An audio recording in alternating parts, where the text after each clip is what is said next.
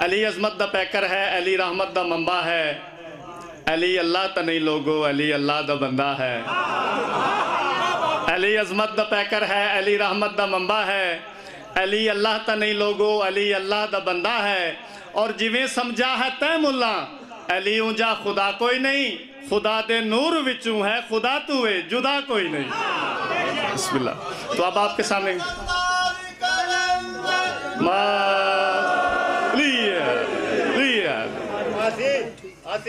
अब आपके सामने खिताबत के लिए, ज़िक्र खैर के लिए, ख़तीब आल मोहम्मद खिताबत की एक नई गुलस्तान की कली खिलती नज़र आ रही है। इस बेटे के लिए, इस भाई के लिए आप सबसे अपील है कि दुआ गो रहें कि मालिक इनको कामयाब फरमाए, अपने ज़िक्र में खसूस कबूल फरमाए। अंसर अब्बास एक सौ तैंतीस जनूबी से ख़तीब आल मोहम्मद अंसर अब्बास अलवी साहब आपके सामने खिताब फरमाएँगे, बर मोहम्मद वाले मोहम्मद सलावात शुक्रिया। जी, बहुत शुक्रिया। बरए ज़हूर इमाम ज़माना सलात वसलाम बावाज बुलंद सलवात पढ़े अल्लाहुम्मा सल्ली अला मुहम्मद। आउज़बिल्लाहिमिनश्शैतानिर्रजीम मिनल मुतमस्सिकीना बिविलायत अली इब्न अबी तालिब अलैहिस्सलाम असलातो वसलाम वाला अबाइल हुसैन वबनाइल हुसैन वजदाइल हुसैन व साबिल हुसैन। वलानतुल्लाह अला अदाइल हुसैन। अम्माबादो फ़कत काला सुबहानहु व तआला फ़ी किताबिहिल मजीद। बिस्मिल्लाहिर्रहमानिर्रहीम। रब्बी शरह ली सदरी व यस्सिर ली अमरी। वहलुल में लसानी यफ़क़हु क़ौली, दरूद हो अहल बैत मोहम्मद पर। अल्लाह सल मोहम्मद मुहम्मद। सबसे पहले खाली के बारी ताला से दुआ है कि वो हमारी इस अजीम तरीन इबादत को अपनी बारगाह में शरफ कबूलियत अता फरमाए। मेरे अल्लाह, जिस तरह से आज ये मोमिन मिल के तेरे सच्चों का जश्न मना रहे हैं, मेरे अल्लाह, सारी ज़िंदगी ने ऐसी खुशियाँ नसीब फरमा। मालिक अल्लाह, जितने भी मोमिन इस इज़्ज़त वाले ज़िक्र में तशरीफ़ लेके आए हैं, इज़्ज़तों का मालिक अल्लाह उन तमाम की इज़्ज़तों को महफूज रखे।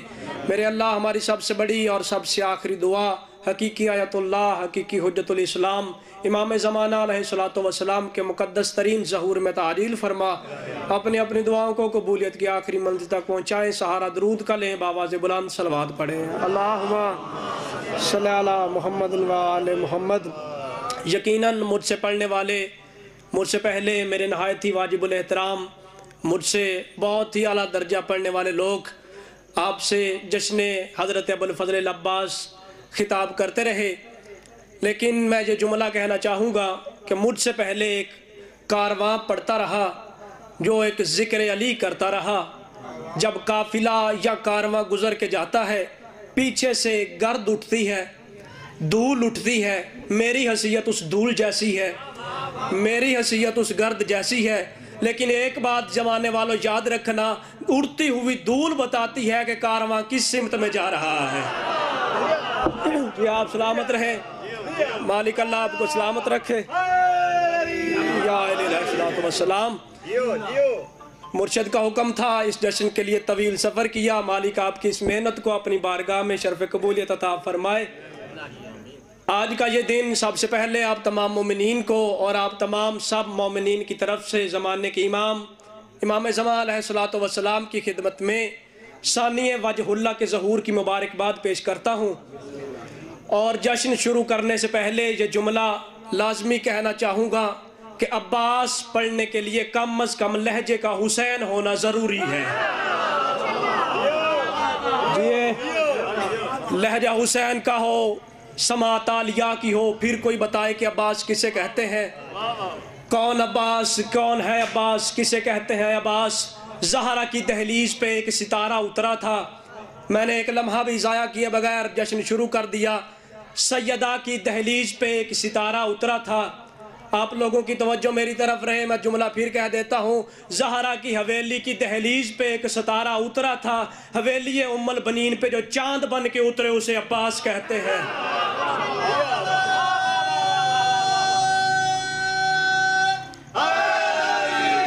सलाम हवेली उमल बनीन पे जो चाँद बन के उतरे, उसे सखी अब्बास कहते हैं, चले मुझे बोल के बताएँ चाँद का काम क्या है।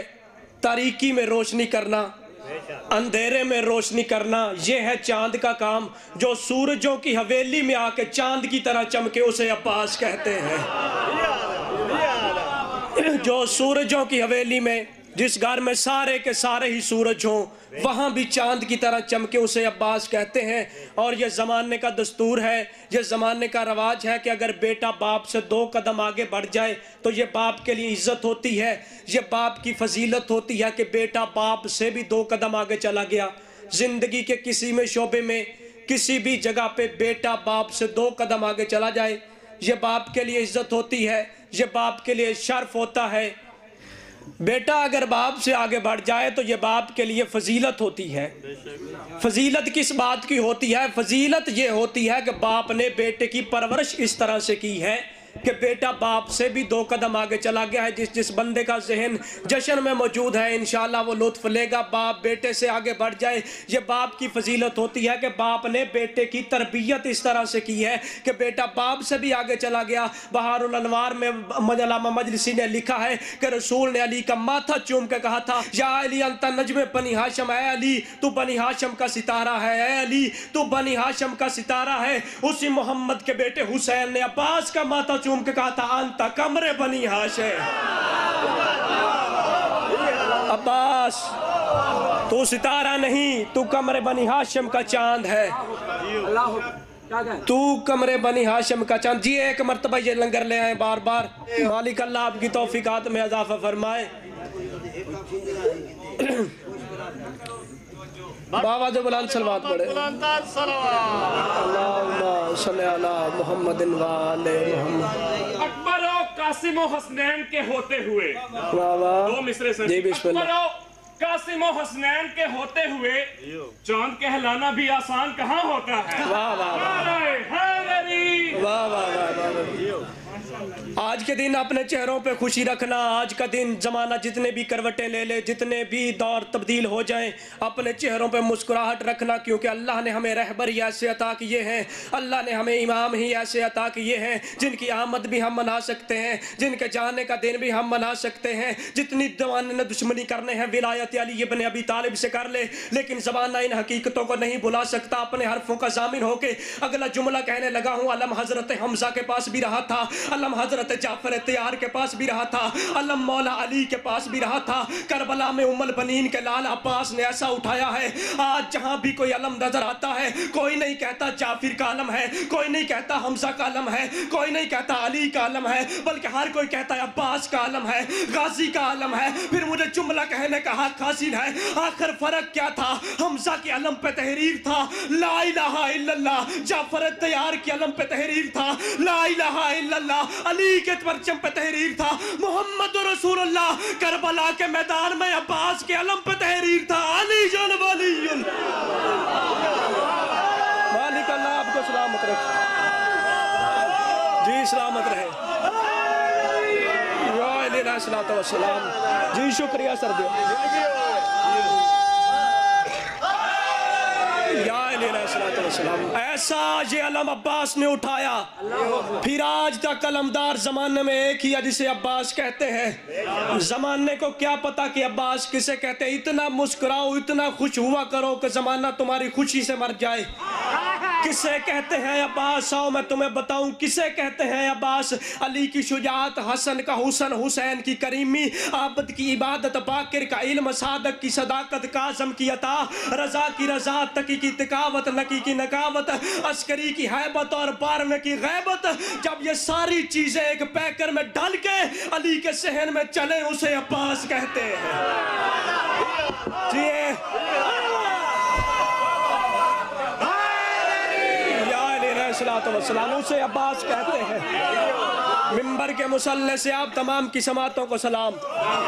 जब ये सारी चीज़ें एक पैकर में डाल के अली के सहन में चले, उसे अब्बास कहते हैं, जितना खुश हुआ करो, खुश होना चाहिए। मेरी कौम के नौजवानों, सर सजदे में रखो और फिर उठाओ ना। तुम इस बात का शुक्र अदा नहीं कर सकते कि अल्लाह ने तुम्हें ऐसे रहबर अता किए हैं। अल्लाह ने तुम्हें ऐसे इमाम अता किए हैं। आज की रात इससे मैं अंबारगा में ये रोशनियाँ देखकर इन मोमनों के चेहरों पर ये मुस्कुराहट देकर, कुछ लोग अपने घरों में बिस्तर पे लेट के करवटें बदल बदल के कह रहे हैं, काश हमारे पास भी कोई ऐसा रहबर होता, काश हमारा भी कोई ऐसा इमाम होता, जिसके आने के हम भी जश्न मना सकते, जैसे आज जिन्होंने इमाम पारगा में रोशनाइयाँ की हैं, काश हम भी रोशनियाँ लगा सकते, ये फखर सिर्फ़ और सिर्फ़ मेरी मिल्लत के नौजवानों के पास है, जो मातम भी कर सकते हैं, अपने रहबरों के आने का दिन भी मना सकते हैं, क्योंकि मुसलमानों तुम जानते हो, जश्न मनाने नहीं पड़ते वल्दियतें बतानी भी पड़ती।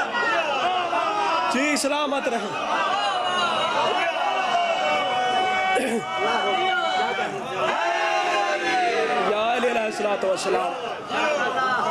मैंने तो समझा था शायद थक गए होंगे।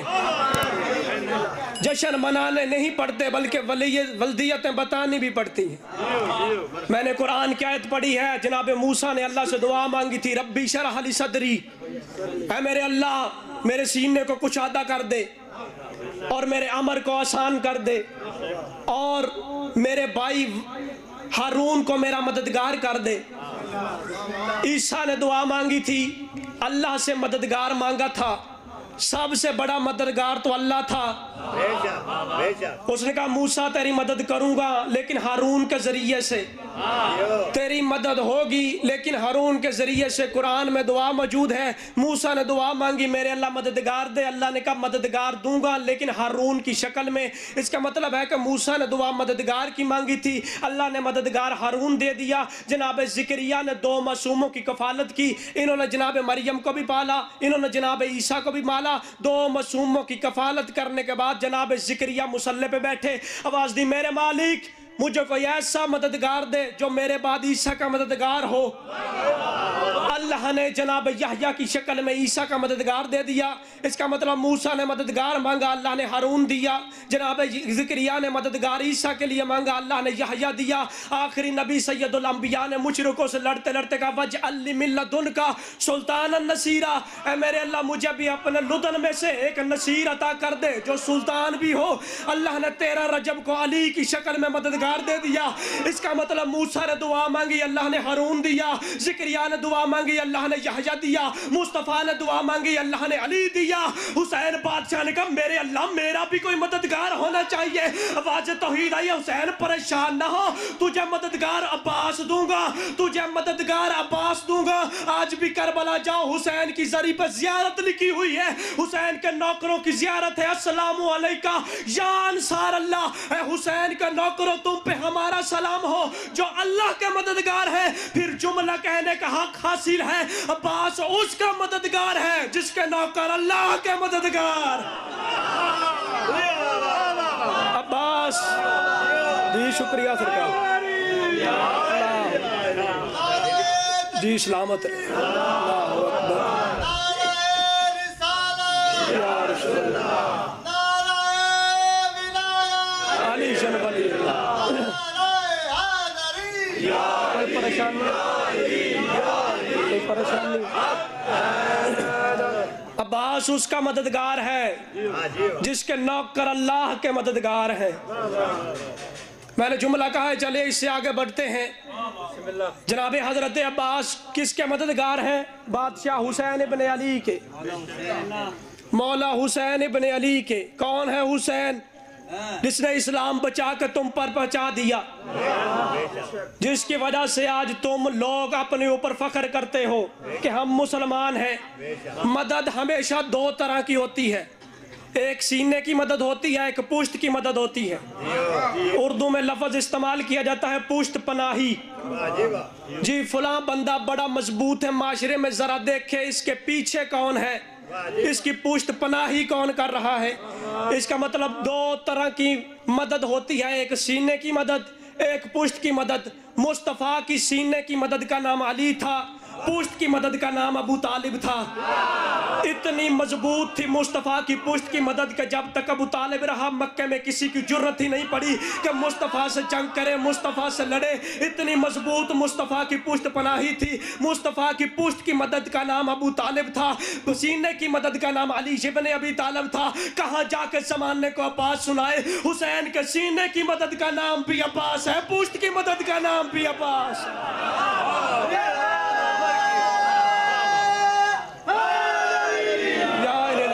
या वसलाम सीने की मदद का नाम भी अब्बास है। पुश्त की मदद का नाम भी अब्बास है। कितनी मज़बूत है ये हुसैन की पुश्त पनाही। शुक्रिया। अगर चाहे तो सुनाऊं। कौन है अब्बास जिसकी न्याम में सोई हुई तलवार अरब के बड़े बड़े जंगजुओं की आँखों से सोने की ताकत छीन ले? उसे अब्बास कहते हैं। जी, शुक्रिया सैयद। उसे अब्बास कहते हैं। चले, कितनी मज़बूत थी ये हुसैन की पुष्ट पनाही। आप सुनने पे आमादा है, मैं भी सुनाने पे आमादा हूँ। सैंतीस हिजरी दस रबियुल अव्वल सफीन का मैदान। अली की जूती को काबा समझने वाले सूरज ने तलू हो के अली की नालैन का भरोसा लिया। या कायनात के कायनात के सबसे बड़े अमीर ने एक नज़र सुफियानी लश्कर को देखा। सामने अढ़ाई लाख का लश्कर अली ने पलट के अपने और मोहम्मद के मुश्तरका बेटों की साफ़ को देखा। अली की आवाज़ आई मुस्कुरा के बाद चाली ने फरमाया, आज मेरा कौन सा बेटा जंग लड़ेगा? आज मेरा कौन सा बेटा जंग लड़ेगा? और मिंबर से अक्सर ये जुमला पढ़ दिया जाता है कि जनाब हसन और जनाब हुसैन आगे बढ़े। और बादशाह अली ने फरमाया, तुमने सुना नहीं कि मेरा कौन सा बेटा जंग लड़ेगा? ना मेरे अकीदे के बराबर ये बात है ही नहीं, क्योंकि अली अपने ज़माने का इमाम है, हसन अपने ज़माने का इमाम है, हुसैन अपने ज़माने का इमाम है। वो कैसी हुज्जत है जो हुज्जत की बात ही ना समझ सके। अली ने कहा, आज मेरा कौन सा बेटा जंग लड़ेगा? अली का ये लफ्ज़ कहना था, हसन और हुसैन पीछे हटे, हाथ बाँध के अर्ज़ की, बाबा, आपने हमें मुबाहले वाले दिन से नबी के बेटे बना दिया था। आज तेरे ही बेटे जंग लड़ेंगे। उस वक्त अली ने जैसे ही कहा कि आज मेरा कौन सा बेटा जंग लड़ेगा? एक तरफ़ से जाफिर इब्ने अली आगे बढ़ा, एक तरफ़ से औन इब्ने अली आगे बढ़ा। अली ने माथा जाफिर का चूम के कहा, जाफिर, तू जंग लड़ेगा? आवाज़ आई, जी बाबा, मैं जंग लड़ने के लिए जाऊँगा। अली की आवाज़ आई, जाफ़र, तेरी बहादुरी को सलाम, लेकिन बता, दुश्मन को मारने के लिए तुझे किस चीज़ की ज़रूरत है? जाफ़र की आवाज़ आई, बाबा, घोड़ा तेरा चाहिए, बाबा, तलवार तेरी चाहिए, बाबा, सामने अढ़ाई लाख का लश्कर है, तू अपना डेढ़ हज़ार का लश्कर दे दे। अली ने कहा बेटा तलवार भी अपनी दी, घोड़ा भी अपना दिया, डेढ़ हज़ार का लश्कर भी दिया। लेकिन इतना बता तुझे दुश्मन मार के आने में वक्त कितना लगेगा? जा फिर माथा चूम के कहता है, बाबा, तूने फजर की नमाज़ अदा कर ली है, मगर बहन की नमाज़ अदा करने के बाद तू मुसल्ले पे बैठा होगा। मैं आके तेरे कदम न चूमू, मुझे अपना बेटा न कहना। अली ने जाफ़र की पेशानी चूम के कहा, जाफ़र, तेरी बहादुरी को सलाम, लेकिन बेटा, मगर बहन को देर है, अली को जल्दी है, मगर बहन को देर है, अली को जल्दी है, इधर जाफ़र पीछे हट रहा था। शान इब्ने अली आगे आया ओन इब्ने अली का आगे आना था। अली ने कहा हाँ ओन तू जंग लड़ेगा। ओन ने कहा, जी बाबा, मैं जंग लड़ूँगा। अली ने कहा, तुझे क्या चाहिए? ओन ने कहा, बाबा, घोड़ा भी तेरा चाहिए, बाबा, तलवार भी तेरी चाहिए। बाबा, उसने कहा, डेढ़ हज़ार का लश्कर। बाबा, डेढ़ हज़ार नहीं चाहिए, मुझे एक हज़ार का लश्कर दे दे। अली ने कहा, एक हज़ार का लश्कर भी दिया, तलवार भी अपनी दी, घोड़ा भी अपना दिया। मुझे बता तुझे जंग जीत के आने में वक्त कितना लगेगा? अली की आवाज़ आई उसी वक्त आन की आवाज़, बाबा, तूने नमाज़ फजर अदा कर ली है, जोहरैन अदा करके तू मुसल्ले पे बैठा होगा। तेरे हाथों का आके बोसा न लू, मुझे अपना बेटा न कहना। अली की आवाज़ आई बेटा, जोहरैन को देर है, अली को जल्दी है। जोहरैन को देर है, अली को जल्दी है। इधर अली के बाकी बेटे पीछे हो रहे थे। जब जहरा की दुआ अब्बास आगे बढ़ रहा था, अब्बास ने हाथ जोड़ के अर्ज़ की, बाबा, इजाज़त दे, मैं जंग करने के लिए जाऊँ। अली ने अब्बास का चेहरा देखा देखते अब्बास, तू जंग करेगा? जी, बाबा, मैं जंग करूँगा भूसा अली देख कहते अब्बास, फिर बता, तुझे जंग में जाने के लिए क्या चाहिए? अब्बास की आवाज़ है बाबा घोड़ा भी तेरा नहीं चाहिए, बाबा तलवार भी तेरी नहीं चाहिए, बाबा लश्कर भी तेरा नहीं चाहिए। अली देखते हैं, अब्बास जंग लड़ने जा रहा है, घोड़ा भी नहीं चाहिए, तलवार भी नहीं चाहिए, लश्कर भी नहीं चाहिए। मुझे बता, तुझे चाहिए क्या? अब्बास हाथ बाँध कहते हैं, बाबा, रिजा तेरी चाहिए, इजाज़त हुसैन की चाहिए। दुआ तेरी चाहिए, इजाज़त हुसैन की चाहिए। दुआ तेरी चाहिए, इजाज़त हुसैन की चाहिए। उसी बादशाह दे कहते, अब्बास, दुआ अपनी दूँगा, इजाज़त हुसैन से लेके दूँगा। मुझे पता जंग जीत में आने में वक्त कितना लगेगा। अब्बास ने अली के कदमों का बोसा लेकर, बाबा, दुआ तेरी मिल जाए, इजाज़त हुसैन की मिल जाए, मैं मैदान में जाऊँगा, मैसरा में घिसूँगा, मैमना को उल्टूँगा, मैमना को पलटूँगा। बाबा, अभी तेरे पहले मुनकर का गसर हवा में होगा, आखिरी का सर न काटो, मुझे अब्बास न आप सलामत शुक्रिया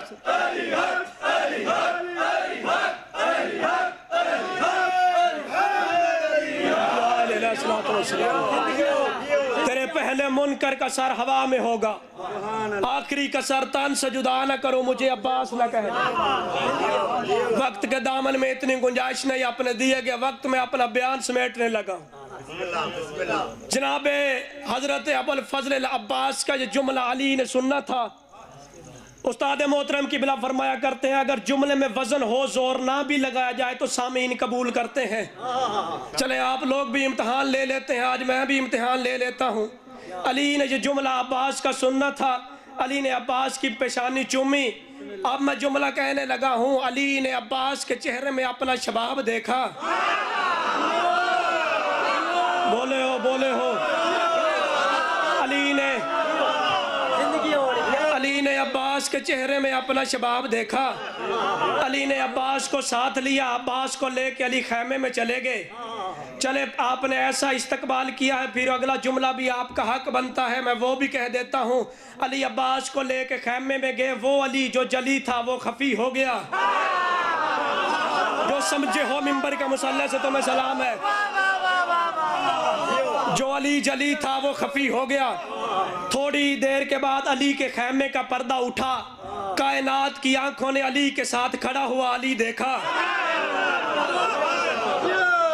कायनात की आँखों ने अली के साथ खड़ा हुआ, अली देखा। आज किसी को समझ ही नहीं आ रही थी कि ये दो अली कहाँ से आ गए। या आसमान पे फरिश्तों ने जिब्राइल के आगे हाथ बाँध के अर्ज़ की, जिब्राइल, ये क्या हो गया? जिब्राइल देखते आज मुझे भी नहीं पता चल रहा, इनमें बड़ा अली कौन है? इनमें छोटा अली कौन है? आज मुझे भी आज मुझे भी पता नहीं चल रहा, इनमें बड़ा मुर्शद कौन है? इनमें छोटा मुर्शद कौन है? अली ने अपने हाथों से अब्बास को घोड़े की जीन पर बिठाया। चले, आपकी समातों के लिए मेरी गलती है, मुझे जुमला तब्दील करके पढ़ना चाहिए था। मैं तब्दील कर देता हूँ, अली ने वफा के कुरान को जदुल्ला वाले हाथों से उठा के जीने जहर पे सजाया। सरकार अब्बास का यूँ घोड़े पे आना था। अब्बास के घोड़े ने अंदाज बदल के चलना शुरू किया। अब्बास के घोड़े का चलना था, अब्बास का घोड़ा चलता चलता मैदान में आया। सामने अढ़ाई लाख का लश्कर। अली के बेटे अब्बास ने अढ़ाई लाख की आँखों में आँखें डाल के फरमाया, है कोई जो मुझसे लड़े? कोई तुम में ऐसा, जो मुझसे लड़े। अढ़ाई लाख एक दूसरे का चेहरा देखने लगे है। ये अकेला अढ़ाई लाख से लड़ने आ गया। ये है कौन? आखिर ये है कौन? अढ़ाई लाख इंसान नुमा हैवान सोचते रहे, ये है कौन? आखिरकार इन हैवानों में से एक हवान कुरैब नामी इंसान नुमा हैवान आगे बढ़ा। इसने आगे बढ़ के बढ़ते बढ़ते, पहचानते पहचानते करीब आके पूछा और शहजादे, बता, तू है कौन? जनाब अब्बास ने फरमाया, तुझे नहीं पता, तू पहले बता, तू कौन है? अब ये अरब के लोगों का कानून था कि जब भी जंग में जाते थे, ये पहले अपना तारुफ करवाते थे रीड से पढ़ते थे, बताते थे, हम किस कबीले से है, मेरे बाप का नाम क्या है, मेरे दादे का नाम क्या है? और आप लोग शायद समझते हैं कि खतीब बड़ा आज़ाद होकर तकरीर कर रहा होता है। हम पिंजरे में बंद होकर तकरीर कर रहे होते हैं और हमने हकायक भी अपनी कौम तक पहुँचाने होते हैं। जुमला मैं कहने लगा हूँ अपनी समातों को तैयार रखिएगा। जैसे ही जनाब अब्बास के सामने आया, अब्बास ने कहा, बता, तू कौन है? अरब का कानून था कि रीड से पढ़ के बताया जाता था कि मैं किस कबीले से हूँ, मेरे बाप का नाम क्या है, मेरे दादे का नाम क्या है। इस्लाम की जंगों में जाने से बंदे नहीं डरते थे, बल्कि वल्दियत बताने से डरते थे।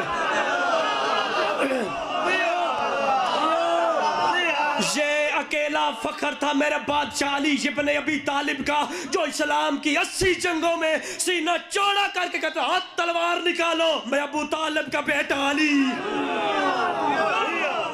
मैं अबू तालिब का बेटा अली हूँ। जनाब अब्बास के सामने ये कुरैब आके खड़ा हुआ अब्बास ने फरमाया, बता तू कौन है? इसने उस वक्त एक रिड्स पढ़ा जो किताबों में मौजूद है। इसने उस रिड्स में पहला जुमला पढ़ा, इसने कहा, मैं वो हूँ जिसका रास्ता बड़े बड़े लश्कर नहीं रोक सकते। मैं वो हूँ जिसकी तलवार ने अरब के बड़े बड़े जंगजुओं के जिगर के खून का जायका चखा है। इसने तीसरा जुमला कहा, इसने कहा, मैं वो हूँ जिसका नाम लेके अरब की औरतें अपने बच्चों को डरा डरा के सुलाती हैं। इसका जहन में सोच थी, शायद मैं ये तारुफ करवाऊँगा, ये बच्चा डर जाएगा, ये डर जाएगा। अब्बास के चेहरे पे ना कोई खौफ आया, अब्बास के चेहरे पे ना कोई परेशानी आई। अब्बास ने इसकी तरफ़ देख के मुस्कुराते हुए फरमाया हाँ मैं जानता हूँ तेरा नाम किसी सहराई औरत ने रखा है। तेरा नाम किसी सहराई औरत ने रखा है, तेरा नाम किसी सहराई औरत ने रखा है। इसने कहा, बता तो सही, तू है कौन? अब्बास ने कहा, तुझे नहीं पता, मैं ततहीर की मलका की दुआ हूँ। ऐसे पाक नाम तुझ जैसे गलीजों को बताए नहीं जाते।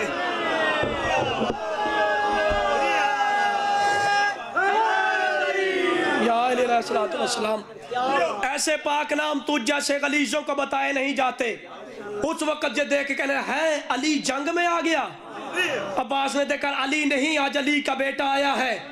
और पहली बार जंग में आया उसने कहा अच्छा अगर पहली बार आया है तो फिर तेरा सन छोटा है। जैसे ही तू गुफ्तगु कर रहा है, मुझे लग रहा है तेरे बैठने का अंदाज अली जैसा है, तेरे लहजे का अंदाज अली जैसा है, तेरे बोलने का अंदाज अली जैसा है। फिर अगली बात इसने अपने ही दिल में कही, जब इसके लड़ने का अंदाज भी अली जैसा होगा। ये फिर लड़ता भी तो अली जैसा ही होगा ना। ये बात सोच के इसने पीछे हटना शुरू किया। ये आस्ता आस्ता पीछे आ रहा था। अब्बास अपने घोड़े को आस्ता आस्ता आगे कर रहे थे। ये आस्ता आस्ता पीछे जा रहा था। आखिर इसने बहाना निकाला। इसने कहा ओ बेटे, तू अली का बेटा है, तू उम्र में छोटा है, तू सन में छोटा है। इसलिए मैं तुझसे लड़ाई नहीं करूँगा, क्योंकि तू छोटा है। अब्बास ने घोड़े से उतर के इसके गिरेबान में हाथ डाल के ज़मीन पे फेंक सीने पे घुटना रख हाथ सुन, जो हमें छोटा समझे, अल्लाह कुरान में उसे ही तो काफिर कहता है। जो, जी आप सलामत रहे जी सुर्खिया जो हमें छोटा समझे, अल्लाह कुरान में उसे काफिर कहता है। आखिरी मराहल में मेरी गुफ्तगु आ गई। जो हमें छोटा समझे, अल्लाह उसे कुरान में काफिर कहता है। इसने उड़ती हुई धूल देखी। अब इसने देखा कि अब बचने के आसार कोई नहीं। अब ये लड़ना पड़ेगा। इसने कहा, अब्बास मुझे जाने नहीं देता। अब्बास ने कहा, नहीं। जीने नहीं देता, कहा, नहीं। कहा आज लड़ना है। जी हाँ लड़ना है। कहता, मुझे जाने क्यों नहीं देता? अब आज के बाद, तुझे नहीं पता, सामने टीले पे खड़ा वो देख रहा है जिसकी आँखें अनुल्ला है। मैं पहली दफ़ा मैदान में आया हूँ। मुझे देखने के लिए वो खड़ा है जिसकी आँखें अनुल्ला है।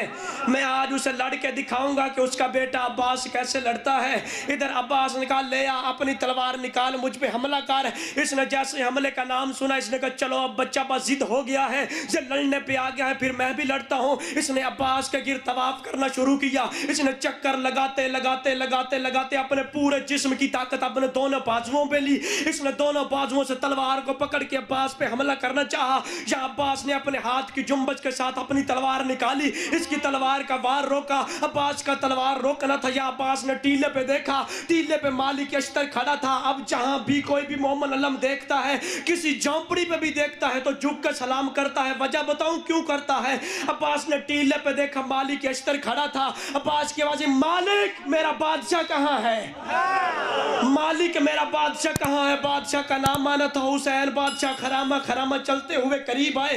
अब्बास की नज़र हुसैन पे पड़ी। यूँ झुक के अब्बास ने सलाम किया। अब्बास का सलाम करना था फिर उस दिन से जिस भी मोहम्मद ने अब्बास का आलम देखा, उसने झुक के सलाम किया। हुसैन ने ऐसी खैरात अब्बास को दे दी, आज तक मोहम्मद झुक के सलाम करते हैं। हुसैन की आवाज़ आई बादशाह हुसैन, आपने इजाज़त दी थी, अब फिर इजाज़त दीजिए, मैं जंग करूँ। हुसैन ने दाया हाथ बुलंद करके अब्बास को इजाज़त दी। अब्बास ने अपने हाथ की अंगड़ाई के साथ अपनी तलवार को निकाला। कुरैब पे हमला किया। कुरैब को चीरने के बाद अली सात कदम पीछे आ चुके थे। जब कुरैब के जिस्म से पहला खून का कतरा बाहर आया। इधर अब्बास फ़ौरन वापिस आए। मालिक के अश्तर पर दौड़ते हुए आगे आके अब्बास का अब्बास, अपनी तलवार न्याम से निकाल, अपनी तलवार न्याम से निकाल। अब्बास ने तलवार न्याम से निकाली। न मालिक अश्तर कभी दाएँ से देखता है, कभी बाएँ से देखता है। अब्बास देखते, चाचा मालिक क्या ढूंढता है? अब्बास की तरफ़ देख के मालिक अश्तर कहते, अब्बास अभी अभी तेरी तलवार मैदान में लड़की आई है। ये कुरैब को कत्ल करके आई है, इसके सीने पे खून का धब्बा ही कोई नहीं, इस पे खून की लकीर ही कोई नहीं। अब्बास ने फरमाया, चाचा सुल्तान तुझे नहीं पता जिसका कत्ल करके आया हूँ, वो नजस था, इसके कब्जे पे ततीर का हाथ। बोलो बोलो बोलो, सखी सरदार कलंदर